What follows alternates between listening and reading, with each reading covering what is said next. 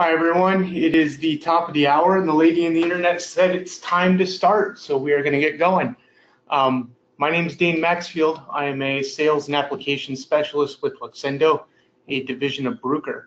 Um, and first off, I want to thank everyone for attending. I know for some of you it's really early and others it's really late, so I appreciate you uh, taking time to uh, step out and watch this webinar. Um, in today's webinar, I'm going to be introducing you to light sheet microscopy, going through the common setups that um, are presented out there, and then presenting some applications data from each. My hope is that by the end of this presentation, you'll have a better understanding and appreciation for this technique and how it can open some doors for discoveries of your own. Since I am the only one with access to speak, uh, there's a chat window that you can type your questions in below. Um, I'll try and address these questions during the presentation if I see them pop in. Otherwise, I'll address them at the end. If your question pertains to a particular slide, if you could note the slide number, which is in the lower right-hand corner, um, I can address that at the end. So in order to set the stage for this presentation, let's first consider some of the challenges faced in modern biological imaging. And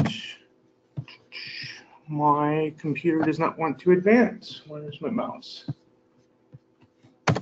There we go. So researchers are constantly asking increasingly complex questions and developing applications, and this requires um, instrumentation and being able to keep pace. There's been an increase in the number of labs that are utilizing whole organisms, such as 3D cell cultures um, and other physiologically relevant systems. And these provide a particularly unique challenge with regards to imaging. Not only do we have to acquire large volumes of 3D data, as shown in this uh, video that's playing right now, but we have to do this at very high spatial resolution in order to see the details of the sample that we want to. Additionally, we need to do this on a physiologically relevant time scale in order to capture the biology as it's happening. And finally, we have to do this gently enough as to not perturb the system through light-induced photo damage or phototoxicity. And this is a really tall order for any sort of imaging system or modality. Typically, uh, imaging techniques will fall short in one of these different categories, which has really forced researchers to find new and different ways of performing their experiments. And over the last 10 to 15 years, scientists have dusted off a centuries old imaging technique called light sheet microscopy, which has really reemerged as a modality that can address all of these requirements. Uh, light sheet microscopy is rooted in a technique that was termed ultramicroscopy, pioneered in 1903 by Siedentopf and Zsigmondy. And the original ultramicroscope um, used orthogonal illumination by uh, essentially illuminating with sunlight and was used for visualizing particles in suspension. Uh, actually later won a Nobel Prize for this work in chemistry for um, this work on colloidal solutions in ultramicroscopy. But this was largely forgotten. It existed in a couple, in a very couple techniques, but largely forgotten until the early 90s when the first combination of light sheet with fluorescence came about and this in this application, they use this for imaging and mapping the inner ear of a guinea pig. And again, this technique was reshelved for another decade until 2004 when Jan Huisken and Ernst Stelzer published their landmark paper introducing SPIM to the scientific community as a technique for imaging live samples with very little photo damage. And this really sparked an imaging revolution and um, we saw light sheet explode over the next couple of years, particularly amongst home builders who were building their own light sheet systems to address their particular applications. And this was recognized in 2014 when light sheet microscopy was named the Nature Method of the Year. really signifying the bright future of this technique. Now, what makes this technique so different, oops, I had animations there. Uh, what really makes this technique so different is the fact that we are essentially going to dissect your standard microscope and um, decouple the excitation and the emission pathways such that we are going to excite uh, fluorophores in an orthogonal direction to our detection axis by using a sheet of light. And by doing this, we can selectively illuminate only the focal plane of the detection axis, hence the acronym Selective Plane Illumination Microscopy.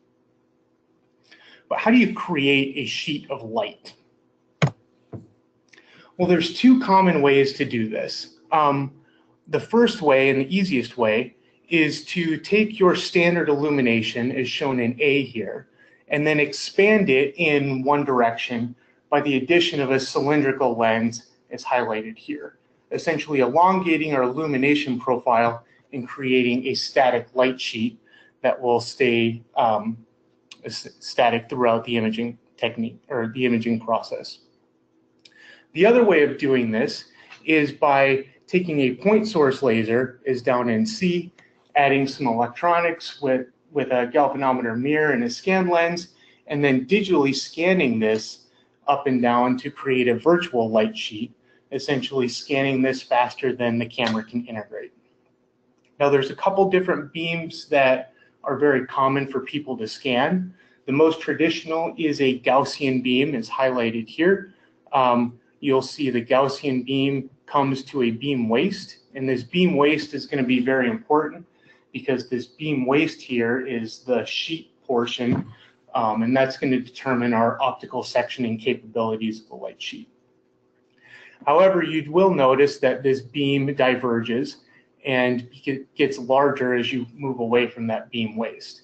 And so there's been a lot of recent uh, work towards using non-diffracting beams, such as Airy beams, Bessel beams, or a lattice of Bessel beams as made popular by Eric Betzig's lattice light sheet microscope. However, this still doesn't really explain why light sheet is so special. And to understand the benefits of light sheet, we must first understand the drawbacks of conventional imaging techniques. So let's consider a standard episcopic technique such as laser scanning confocal microscopy. If we want to image the focal plane here in this Drosophila embryo highlighted in red, what we're going to have to do is illuminate from either above or below with a cone of light that focuses to that sample plane. And then in laser scanning confocal, we'll raster scan this point by point, essentially creating an image one point at a time. But in doing so, expose the entire sample to light, even though we only care about the fluorophores emitted from the plane right around the red dotted line. Conversely, in light sheet, what we can do is if we want to image that same focal plane, we'll bring in our excitation light orthogonally to our detection axis, selectively illuminating the plane of interest and because we're illuminating all those fluorophores in that focal plane at the same time, we can use an area detector such as a camera to simultaneously collect their emission. And this gives Lightsheet some um, pretty unique advantages as far as imaging because we're selectively illuminating that plane so we can acquire images much faster. And additionally, we're only illuminating, because we're only illuminating that plane of interest, we are exposing the sample to a much less light. In fact, it's estimated that a laser scanning confocal exposes your sample to approximately three orders of magnitude more photons than in a light sheet. And again, this gives light sheets some key advantages over confocal, which I'll hammer home here in the fact that because of the way that we're doing our illumination, we have a dramatically reduced light dose with less phototoxicity and photobleaching. Additionally, we get the optical section in one shot, allowing us to simultaneously collect fluorophores or collect emission from all the fluorophores in a focal plane at once. And we do so without sacrificing any optical resolution, making this technique ideal for imaging processes in live specimens. However, as we know, there's an extremely large variety of experimental systems and model organisms, and just as there is no imaging platform that works for everyone's various samples and experimental needs, there is no light sheet that's going to work for everyone. And this has resulted in a very diverse array of light sheet geometries, as high, and some of the more popular ones are highlighted here. For clarity, since I can see my mouse, uh, IO and the blue lines stand for illumination objective, and DO stands for a detection objective. Um, so with all these different geometries here, how do you know which system will work for your sample? Well, there's a couple things to consider. First, your sample size. Because of the fact that we have to illuminate in an orthogonal direction to our detection axis, this places some steric constraints on the size of samples that we can fit between these objectives based on your choice of objective. The second is sample mounting. Um, this is a this is something that is again depends on the geometry. And a lot of light sheets use water immersion objectives for their optimal properties of long working distance and high numerical aperture. But again, the geometry will dictate how your sample has to be mounted in order to fit between the illumination detection scheme. Third is spatial resolution. So how high of resolution do you need? Do you need something on the order of cellular resolution or do you need subcellular resolution? Again, the steric constraints placed by having to illuminate orthogonal to your detection axis will place upper limits on what objectives we can use. And finally, temporal resolution. Now, at first glance, this might seem like this is something that would be more characteristic of the detector, a property of the camera. However, by choosing a geometry that allows you to see multiple sides of the sample here, like highlighted in C, you'll effectively double your temporal resolution for large objects compared to a geometry such as in B. Now, for the rest of my talk, I'm going to focus on these three light sheet geometries here.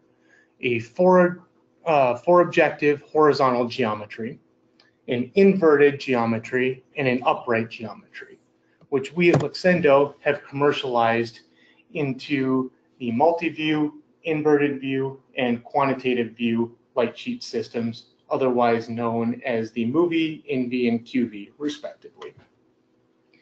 And this fleet of microscopes is really geared towards providing coverage for a very wide variety of applications and samples.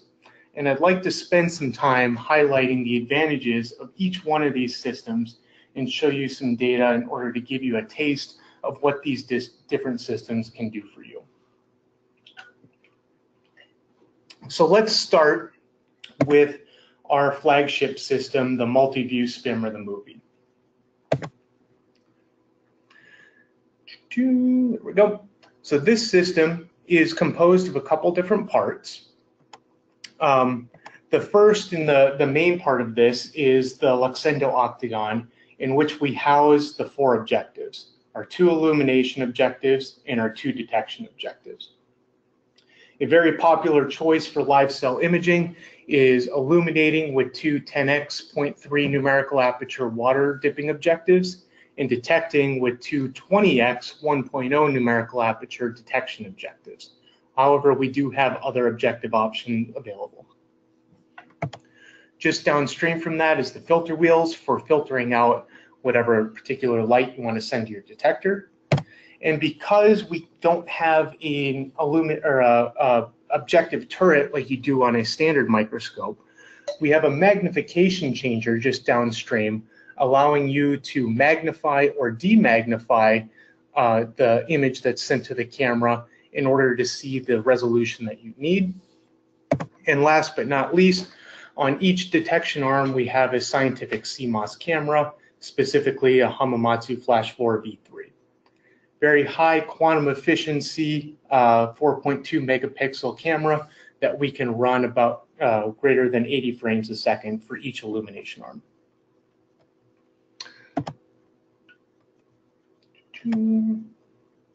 So the way in which this works, which you might remember from the schematic, um, is that we're going to bring in uh, a laser beam for excitation from the two uh, illumination pathways highlighted in green.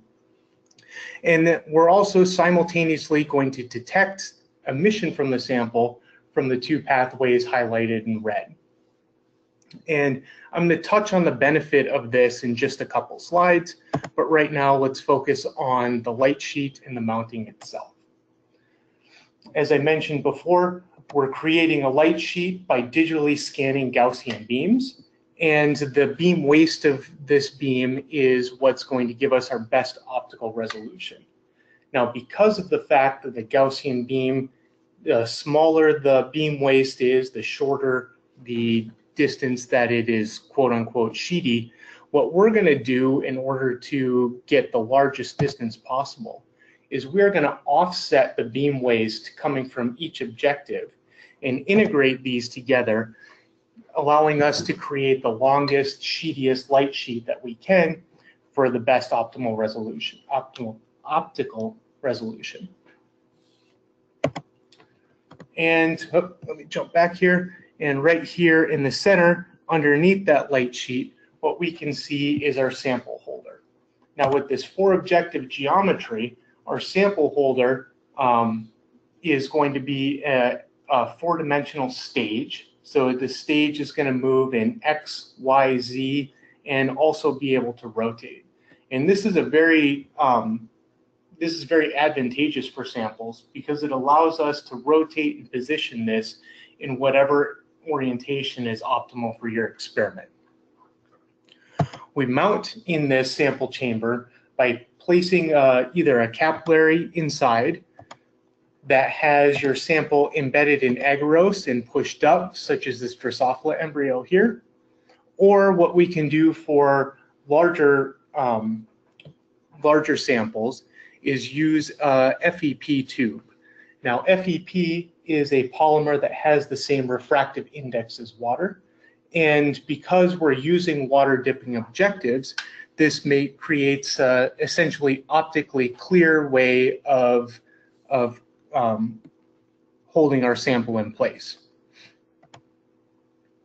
So to summarize, the four objective geometry multi-view system here created with, um, where's my mouse?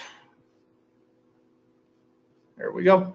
So has us, we hold our sample in between this uh, light sheet by you know, uh, illum or not illuminating, uh, mobilizing it in a cocoon of agarose or in an FEP tube. And this light sheet system gives us a very large field of view and up to 300 nanometer isotropic resolution. And as I mentioned before, this 4G objective geometry is very advantageous for large samples. And I'm going to highlight this with this cartoon schematic here. So if we consider uh, a two objective geometry where we're illuminating from the top and detecting from the left, what we'll see is that we're going to get a great image from this corner of the sample, but we're not going to be able to illuminate or detect emission from the bottom corner here. However, by adding an additional illumination objective, we can now collect, uh, efficiently collect emitted signal from one half of the sample, but we still have this dark side on the back half. So by the addition of a second detectional lens, we essentially double the amount of information that we collect, allowing us to visualize four views of the sample at once, which we can then fuse into a single high resolution image. And to give you an example of this with a real sample, here I'm showing you a zebrafish embryo, and this is the individual images from each camera of the multi-view system. And you'll see on the left camera, uh, we have a great image on this side of the sample. And on the right camera, we have a great image on this side of the sample, but the image quality deteriorates as you go in. However, by taking these two images with our uh, proprietary 3D Fusion software, we can create a single high resolution fused image, allowing us to get a great uh, image of this sample without having to take, stop, and rotate the sample. And so this, this really gives us an advantage as far as speed and image quality because we only have to take one picture to see both sides of the sample. And what we can also do is use this, the ability to rotate, to give us full isotropic resolution by turning the sample 90 degrees and letting us see all four sides of the sample with essentially taking two images, allowing us to create these very beautiful isotropic images such as this Drosophila embryo shown here. And here we're able to acquire two image stacks, each 10 seconds long, and be, fuse them into a single high resolution image. And in fact, this imaging is fast enough and gentle enough to allow us to do this over and over again and visualize very dynamic processes such as this Drosophila gastrulation. So here what you see in the big image is the ventral side uh, view of the Drosophila and the inset up here in the corner is the dorsal view.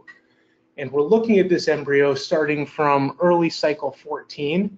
We just watched the um, ventral furrow formation.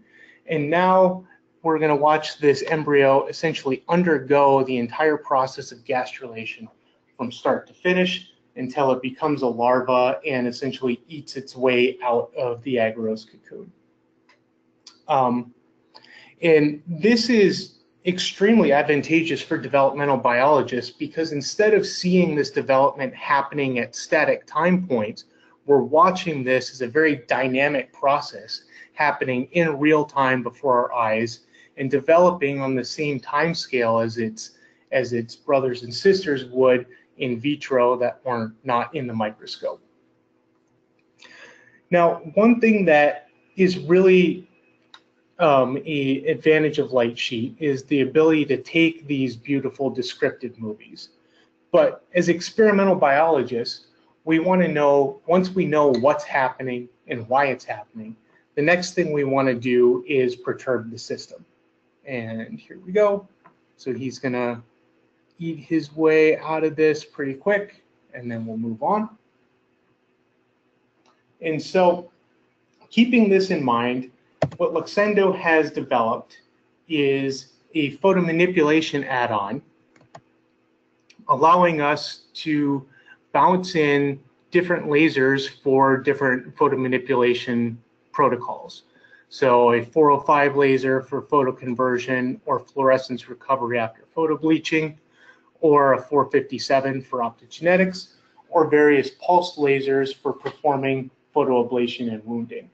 And this provides a very um, dynamic and powerful tool for us to study developmental biology and be able to perturb the system in ways that you can't with other light sheets.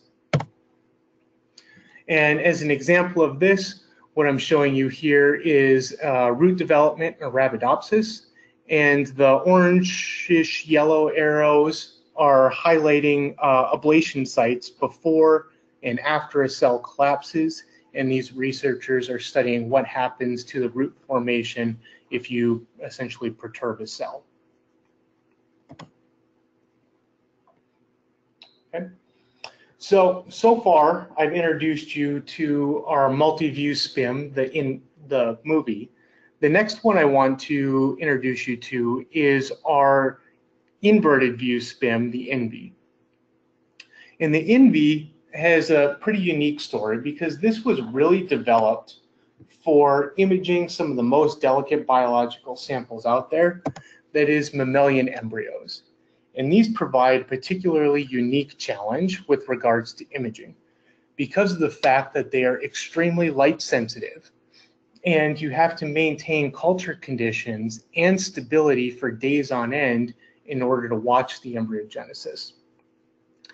Not only that, but we have to do this in a way that is high throughput enough for us to be able to get numbers that are statistically relevant because of the fact that we're imaging for days on end.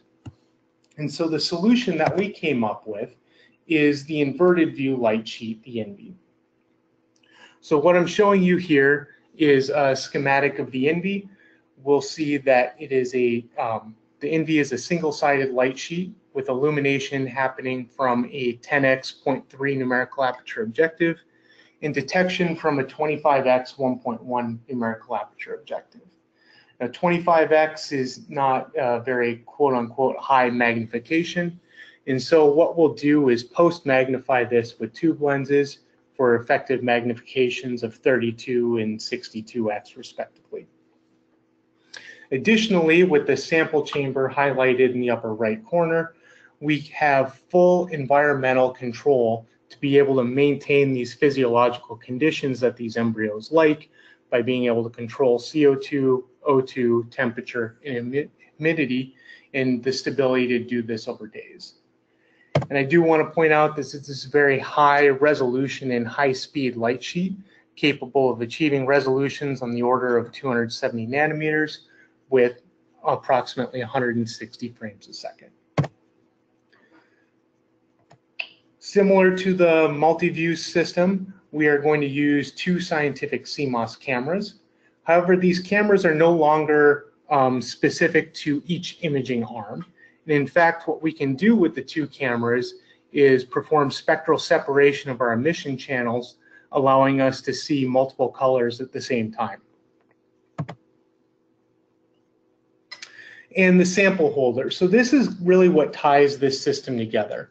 Remember that these embryos, so remember we're working with water immersion objectives here, and these embryos are definitely not going to want to sit in water. And in fact, they have this very expensive media that um, that they prefer. And so the sample chamber that we have come up with uh, essentially uses the FEP polymer I was telling you about here in order to create a physical barrier between the water immersion that we're using and be able to allow the embryos to sit in a small volume of the media that they like so much. Additionally, what we can do is drop these embryos in here. They're held in this trough for imaging by gravity, and we can line them up one by one down the line to allow us to do this imaging in a high throughput manner.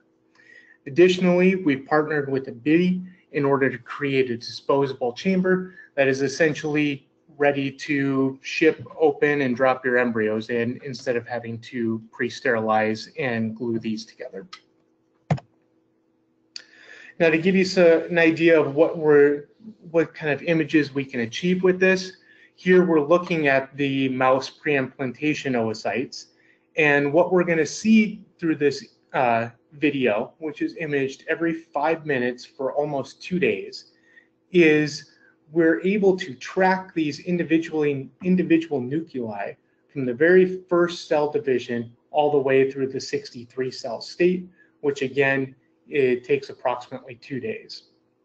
What's extremely impressive about this is that these oocytes that we imaged had similar uh, cell division timing and similar number of cells as their counterparts that were cultured in vitro and we were able to implant some of these into pseudo-pregnant females and healthy pups were born, highlighting the ability of this technique to monitor cell division with extremely high resolution and minimal to no photo damage.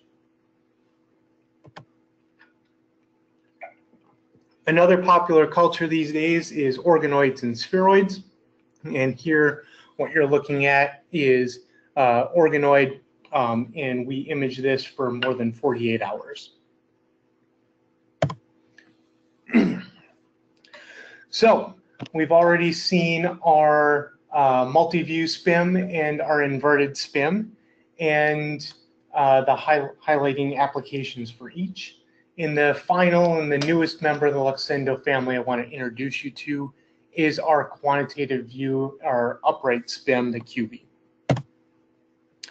And this system was really made popular um, by some early work from Hari Shroff's group, visualizing C. elegans embryogenesis. And here we go. Give you an idea how this system works. Again, upright geometry.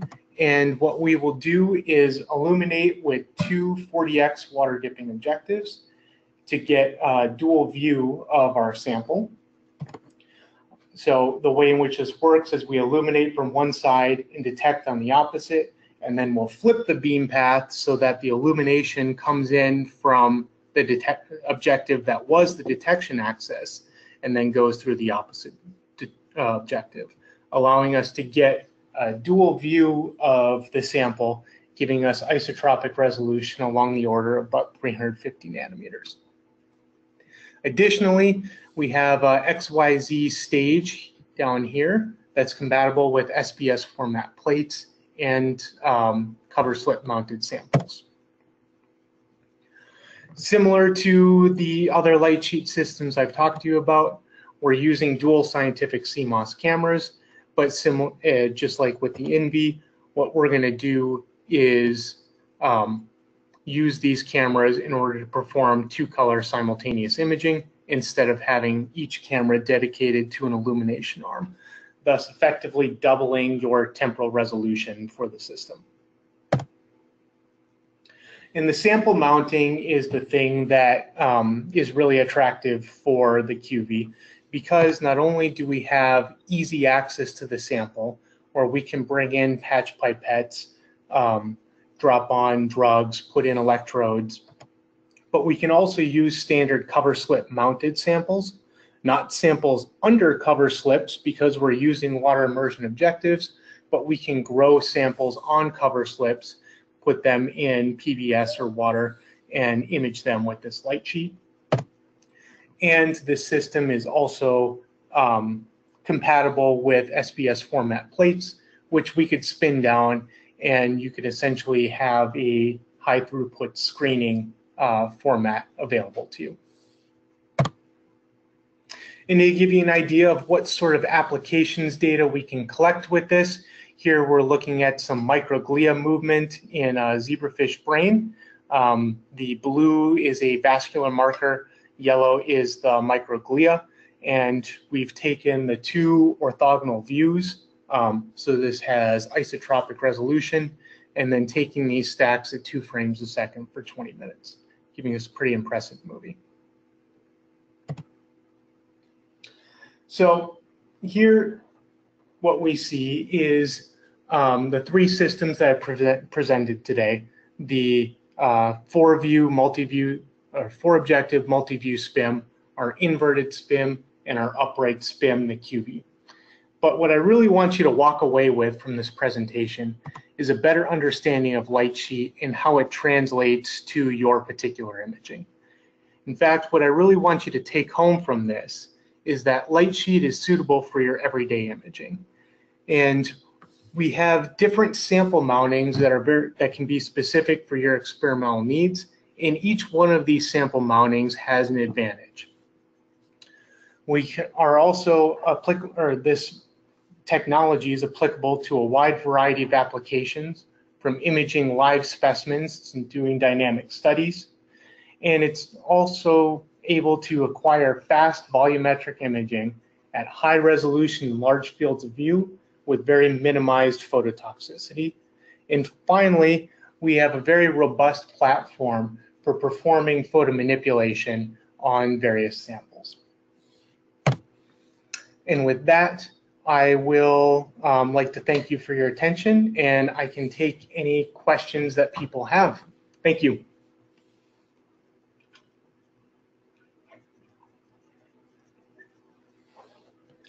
All right, so we've got uh, one coming in here. Uh, do you have a solution for clear tissues? Uh, yes, we do.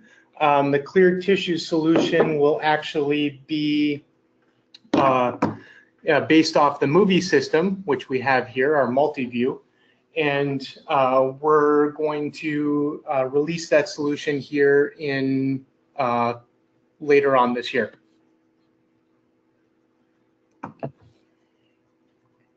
Uh, someone else asked, I'm looking at cell division in HEK 293 cells. What would be the best geometry for my application? And that really depends on the, let me go back here a slide. That really depends on the um, end resolution that you need. So I would say the QuVi and the InVi would be um, good setups for your application. In particular, the InVi, just because of the fact that we can culture these in the sample chamber here, and it's a very high resolution light sheet, as you can see from this video.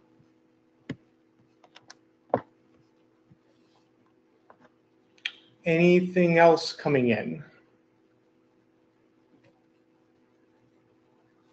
All right, well, if there are additional questions that people want to um, ask, my contact information is on the bottom of this slide. Um, or you can feel free to uh, go on to our FM website and um, get our contact information there and get in contact with us. And with that, I think we will end this. Um, thank you everyone for attending and um, I hope this was very informative for you. Thank you.